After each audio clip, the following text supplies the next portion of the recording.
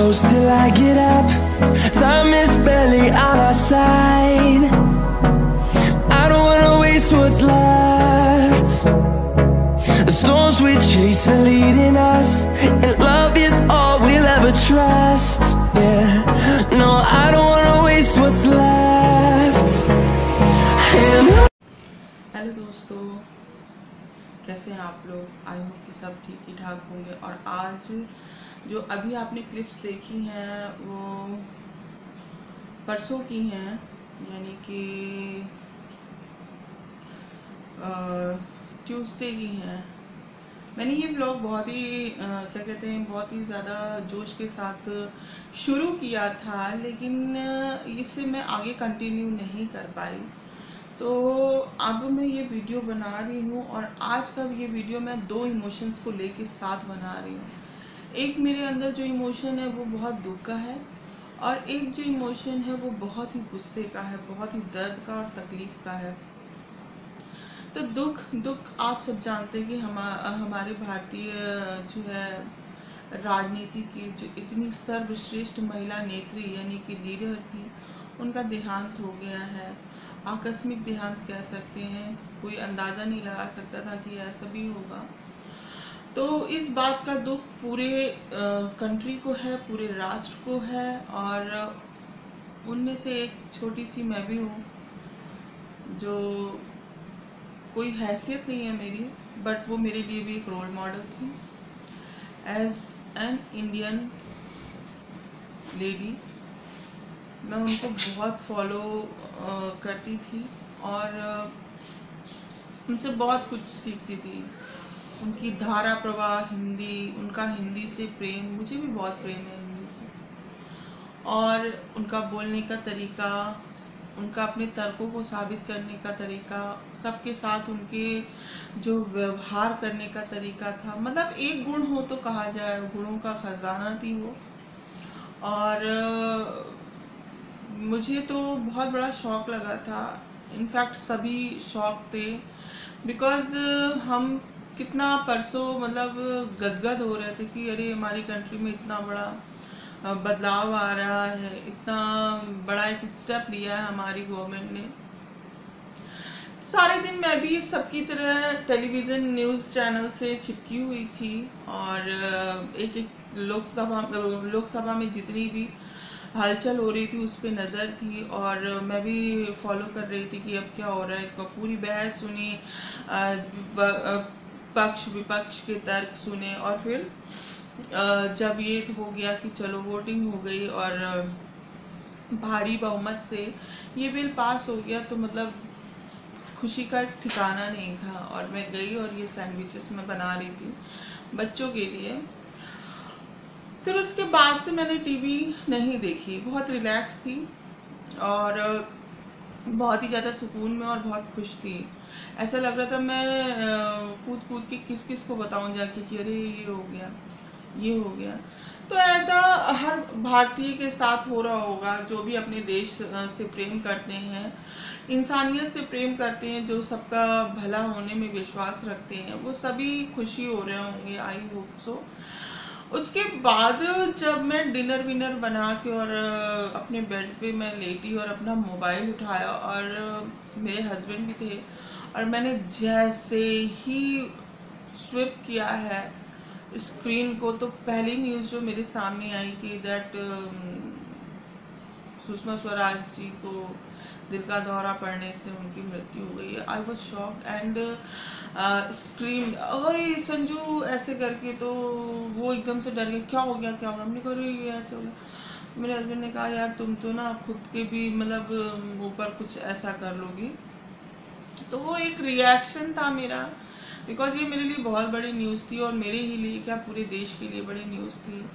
मैंने उनको बहुत लॉन्ग टाइम से, मैंने पहले भी अपने वीडियोस में बताया कि जब से मैंने राजनीति को समझना शुरू किया है, उस टाइम से मैंने अटल बिहारी वाजपेयी जी को फॉलो करना, उनके भाषण उनकी जो है सोच, उनकी बुक्स फिर उन्हीं के साथ साथ मैंने Sushma Swaraj as a lady leader Sushma Swaraj ji मेरी फेवरेट थी, हैं और हमेशा रहेंगी। और अगर नेताओं में देखा जाए तो सबसे पहले अटल बिहारी वाजपेयी जी। इन दोनों से मैं बहुत ही प्रभावित हूँ और मुझे लगता है कि इनके जैसे नेता बहुत कम होते हैं। इनफैक्ट अब कई और लोग भी कैटेगरी में आ रहे हैं, बट उनके मुकाम तक पहुँचने में अभी टाइम लगेगा। तो ये सभी के लिए दुखद बात थी, जितनी मैं उनके गुणों की और उनको प्रेस करने की अगर कोशिश भी करूँ तो मैं सफल नहीं हो सकती बिकॉज़ उनके गुणों का कोई बखान नहीं किया, जिसका उन्होंने जितना किया, जितना दिलों में प्यार जो है, उन्होंने हासिल किया है सबके दिलों में, वो उनकी अंतिम यात्रा में दिख रहा था कि ना सिर्फ़ उनकी पार्टी, बल्कि विपक्षी पार्टियाँ भी, सारे के सारे लोग, जिनसे उनसे, उनकी तीखी बहस होती थी, जिनके लिए जो है, उनके मुँह से कभी कभी शोले बरसते थे, और वो लोग भी आके उनके, जो है अंतिम यात्रा में शामिल हुए। तो ये बहुत बड़ी बात है कि आप अपने विरोधियों को भी इतना मजबूर कर दें कि वो आपके पास, आपके दुख में आके खड़े हो जाएँ। इट मीन्स कि आप बहुत वैल्यू करते हैं। फिर उसके बाद में अगर उनकी एक बात से मैं बहुत प्रभावित हूँ और मुझे लगता है हर भारतीय महिला को इस बात को समझना चाहिए कि इतनी बड़ी इतनी बड़ी एक नेता होने के बावजूद इकतालीस साल की राजनीति में होने के बावजूद, दे दुनिया के हर कोने कोने की यात्रा करने के बावजूद, एक से एक बड़े लोगों के बीच बैठने के बावजूद कि आप एक से एक बड़े जो है, देश के नेताओं के सामने, वहाँ की ब्यूरोक्रेट के साथ में बैठ के, इतने बड़े बड़े ब्यूरोक्रेट्स के साथ में बैठ के आप काम कर रहे हो। और आप अपने देश की जो है, संस्कृति को अपने साथ लेके चल रहे हो। अपनी भारतीय छवि को सब सब पे परिलक्षित कर रहे हो। ये बहुत बड़ी बात होती है कि आपने अपने आप को कभी चेंज नहीं किया। वही माथे में चमकता सिंदूर, वही जो है माथे पे गोल बड़ी बिंदी, साड़ी ये सब चीज़ें उनकी इतनी प्रभावित करती हैं, जबकि आज का टाइम है कि लोग अपने आप को मॉडर्न बनाने के चक्कर में और लोग समझते हैं कि हमको लोग पिछड़ा जाएँगे अगर हम मांग में सिंदूर लगाएँगे या जो है हम माथे पे बिंदी लगाएँगे।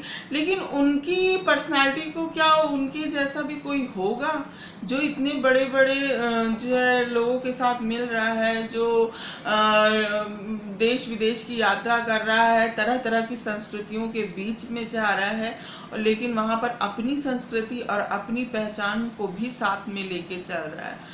तो ये बात मुझे उनकी बहुत ही प्रभावित लगती है और उनका जो एक हिंदी बोलने का तरीका था, उससे, उसकी तो मैं बहुत बड़ी फ़ैन हूँ। उनको अपनी बात करने का जो तरीका था, उनकी अपनी बात रखने के जो तर्क थे, तर्कों को जो, जिस, जो है, ज़ोर के साथ वो कहती थी, संसद का कोई भी सदन हो, उससे मैं बहुत ही ज़्यादा प्रभावित हूँ कि इंसान को बोलने का मौका नहीं देती थी कि कोई उनके तर्कों को काट सके। तो ये सारी चीज़ें उनकी इतनी अमेजिंग हैं और इतनी ही ज़्यादा इन्फ्लुएंस करने वाली हैं कि मैं उसके बारे में क्या कहूँ? वो तो समझ लो सूरज को दिया दिखाने जैसा होगा।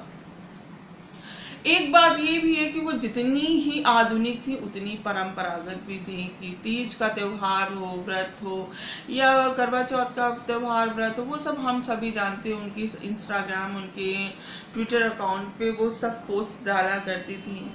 और आधुनिक इतनी थी कि सोशल मीडिया से इतनी जुड़ी थी कि उन्होंने अपने काम को भी सोशल मीडिया से कनेक्ट कर लिया था।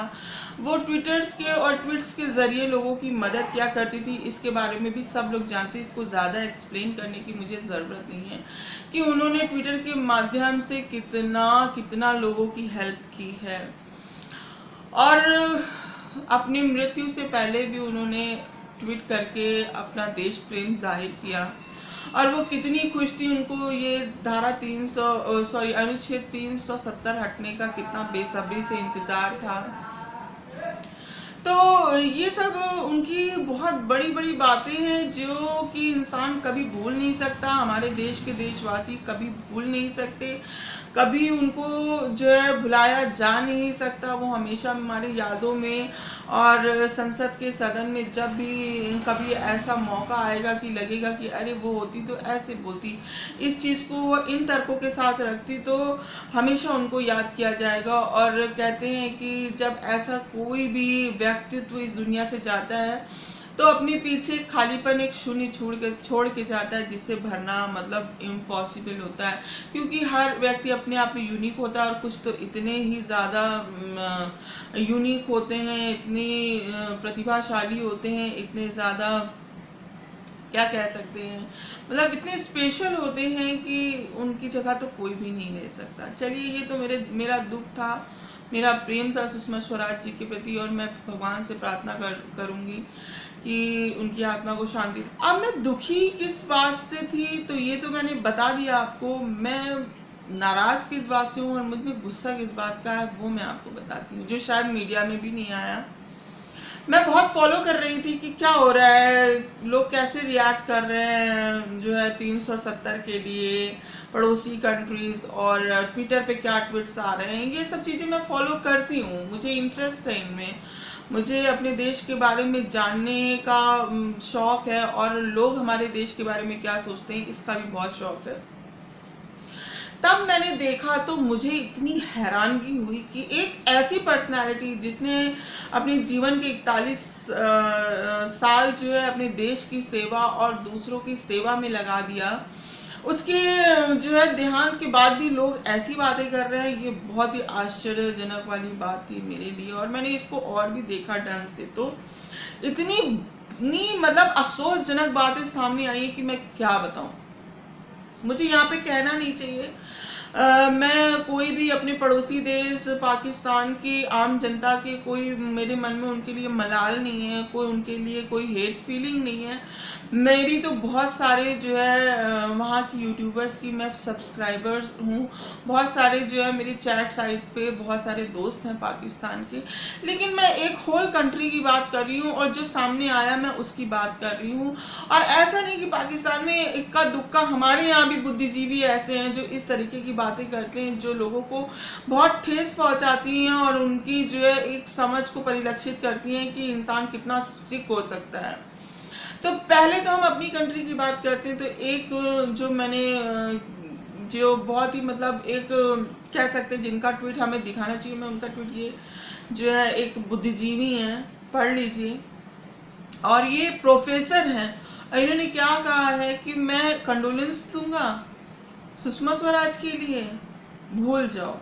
तो ऐसे लोग जो कि इस तरीके के किसी अरे, हम कहते हैं हमारे मन में कितनी भी हेट फीलिंग हो, हमारा किसी से कितना भी पॉइंट ऑफ़ व्यू डिफर हो, हमारी सोचें ना मिलती हो, लेकिन जब इंसान इस दुनिया में नहीं रहा, तब हम उसके लिए दो शब्द कह ही देते कि यार, वो इंसान ऐसा था। एक हाँ कोई ऐसा इंसान होता ही नहीं है जिसमें एक दो गुड़ भी ना हो। और वो तो गुणों का खजाना थी, भंडार थी। तो आप ऐसे अगर कह रहे हो तो सोचिए कि मैं, इस चीज़ को देख के मैं बहुत दुखी हूँ। फिर आते हैं कि जो है, हमारे पड़ोसी देश। हमारे पड़ोसी देश ने तो हद ही कर दी।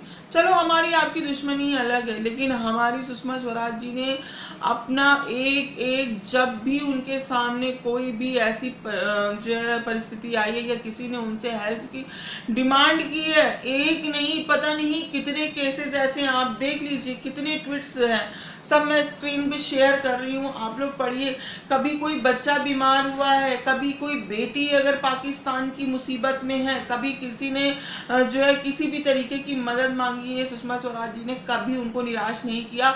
चाहे उनका पेपर वर्क कंप्लीट हो या ना हो, कोई वीज़ा का इशू हो, किसी तरीके की भी प्रॉब्लम हो, जब इतना ज़्यादा चल रहा था कि सब कुछ बॉयकॉट कर दिया गया था, यहाँ पर पाकिस्तानी लोगों को आने पे बैन हो रहा था, तब भी उन्होंने इलाज के लिए किसी का लीवर ट्रांसप्लांट कराना, किसी का हार्ट का ऑपरेशन कराना, किसी को कुछ प्रॉब्लम थी, किसी को कुछ, सबके लिए उन्होंने इंडिया के दरवाजे खोले और अपने जो है अपने सामर्थ्य के अनुसार हर मुमकिन प्रयास किया उनकी मदद करने का। तो जो लेडी इतनी ज़्यादा डेडिकेटेड हो अपने काम के लिए ह्यूमैनिटी के लिए, उसके लिए लोग पाकिस्तान में ऐसे ट्वीट्स कर रहे हैं। ये बहुत ही शर्म की बात है आप लोगों के लिए और आप लोगों के लिए मतलब एक ये भी वर्ड बहुत है कि आप लोग बहुत एहसान फरामोश हो। यार, कैसे कोई एक टाइम था कि आपने कहा कि सुषमा स्वराज जी जो है इंडिया की फॉरेन मिनिस्टर नहीं है, पाकिस्तान की हेल्थ मिनिस्टर है। जब आपके काम आई, जब आपका मतलब सिद्ध हुआ, तब वो आपके लिए हेल्थ मिनिस्टर आपकी कंट्री की हो गई। तब आपने उनके जो है, कितना गुणगान कर दिया। और आज जब बात आई है, जब वो दुनिया में नहीं रही तो आप उनके लिए ऐसे बोल रही और एहसान फरामोशी की हद तो ये पार हो गई कि आप यकीन नहीं करेंगे ये सुन के कि कल पाकिस्तान में जो ट्रेंड चला है rest in health Sushma Swaraj ji के लिए वो इतना शर्मनाक था और ये टॉप टेन ट्रेंड्स में से था। कम से कम नहीं तो अगर आप इसका जो है अनुमान लगाएँ तो पाकिस्तान की होल पॉपुलेशन में से 98 परसेंट लोग कल मीडिया पे जुटे रहे और जो है इस ट्वीट को आगे बढ़ाया है ट्रेंडिंग में लाया है। आप कैसे लोग हैं? आप वो आलिया को भूल गए, उस बेटी को भूल गए, जिसको पाकिस्तान पहुँचाने में सुषमा स्वराज जी ने कितनी मदद की और उसने कितना सारा आभार व्यक्त किया था, वो ट्वीट भी आप पढ़ लीजिए। उन्होंने कभी भी पाकिस्तान की किसी बेटी को अपनी बेटी से अलग नहीं माना। उन्होंने हमेशा कहा कि बेटियाँ तो सबकी साझी होती हैं। आप भूल गए वो चीज़ें जो जब सीरिया और यमन में कितना, वहाँ पर कत्लेआम, खून मचा पड़ा था वहाँ से नब्बे हज़ार लोगों को सुषमा स्वराज जी ने अपने हस्ताक्षर और अपने जो है दम पे अपनी व्यक्तित्व की कुवत पे जो है एयरलिफ्ट करा। उसमें से कितना पाकिस्तानी था? बहुत सारी कंट्रीज़ के लोग थे, लेकिन उसमें कितना पाकिस्तानी था?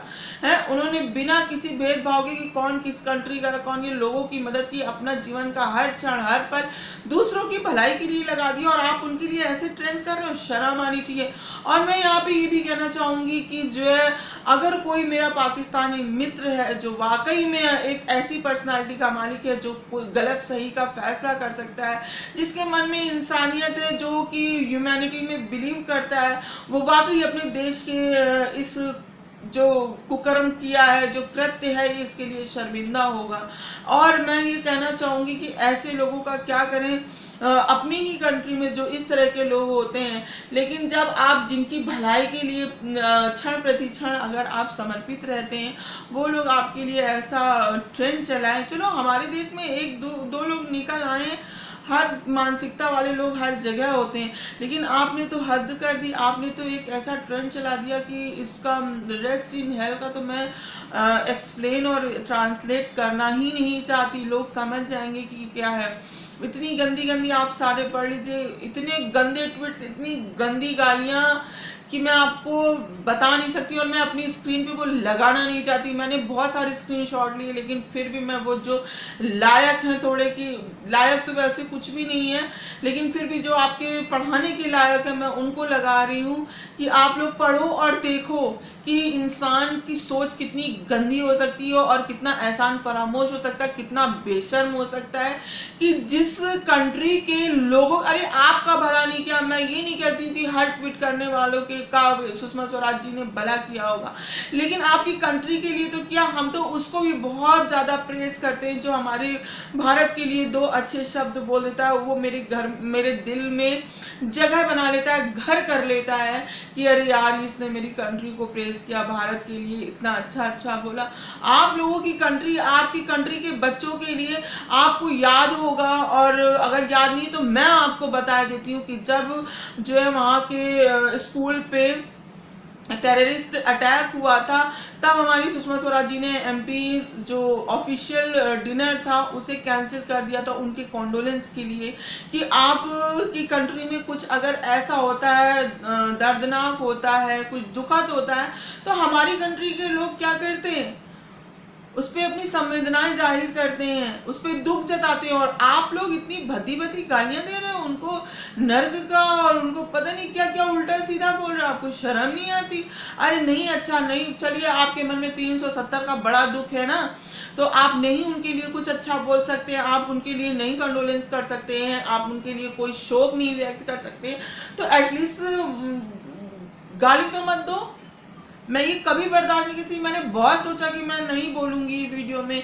पता नहीं किस तरीके से रिएक्शन आएगा। पता नहीं लोग क्या सोचेंगे कि निगेटिविटी फैला लेकिन मैं अपनी कंट्री और अपनी कंट्री के कितने भी अच्छे लोग हैं, जो भी अच्छे नेता हैं लीडर हैं, नेता हैं, अभिनेता, कोई भी हो ए टू जेड मैं कभी नहीं सुन सकती। मेरे बहुत दुख लगता है, मुझे बहुत गुस्सा आती है कि मैं ऐसे इंसान के लिए चुप बैठ जाऊँ जिसने इकतालीस साल हमारी कंट्री के लिए और, दूसरे लोगों के लिए भी दे दिए।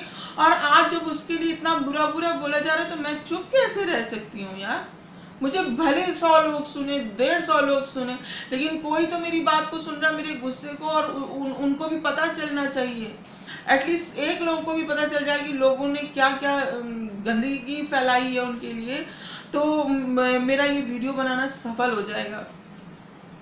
है? धारा 370 से आपका क्या? मतलब आपने 370 को आपसे क्या मतलब है भाई? वो हमारा इंटरनल मामला है।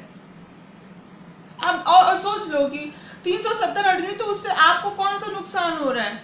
आपने जब अभी तक कितने सत्तर सालों से तीन सौ सत्तर थी आप बड़े कश्मीरियों के हितैषी बनते हैं ना बड़े आ, क्या कहते हैं वो वेल विशर बनते ना, क्या कर दिया आपने? क्या कर दिया? कौन सी उनकी हालत? इतनी मिजरेबल हालत हालत कश्मीरियों की है।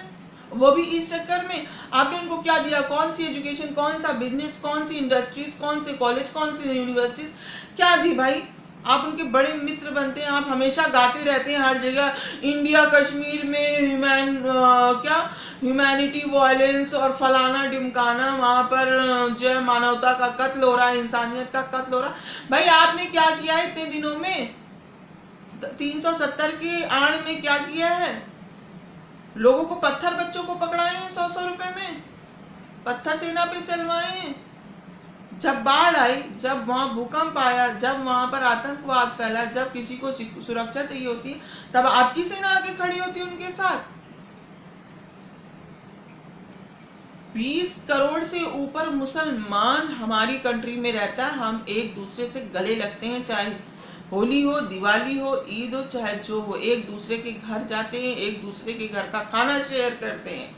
समझ में आया? और वहाँ कश्मीर में जो मुसलमान है, उनकी संख्या तो कुछ भी नहीं है, जो पूरे हिंदुस्तान में मुसलमान है। तो जैसे पूरे हिंदुस्तान में हिंदू, मुस्लिम और सारे धर्मों के लोग प्यार से रह रहे हैं, वैसे कश्मीर भी रह लेगा। आपको चिंता करने की ज़रूरत नहीं है। तो अपनी हदों में रहिए। और जो है, इस तरीके की जो बेशर्मी और एहसान, फरामोशी और जो इतना ज़्यादा उछल कूद करती है, ये मत करिए। और मुझे बहुत ज़्यादा गुस्सा है और मैं चाहती हूँ कि जो लोग ये देखें, वो समझे इस बात को कि किसी की मृत्यु के बाद इंसान एक इंसानियत के नाते, एक सोशल एटिकेट्स के नाते किसी के लिए दो शब्द तो कर देता भले आँसू बहे या वो उसकी मृत्यु पे खुश हो, कोई बात नहीं है।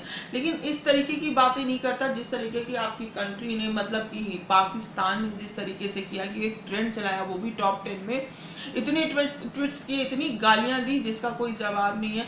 तो मैं सारे अपने इंडियन फ्रेंड से कहना चाहूँगी कि देख लो भाई, हम लोग हमेशा ये करते हैं ना कि नहीं please don't spread negativity spread love तो यार लव तो हम हमेशा फैलाते हैं, हमें वापस में लव ही था तो था।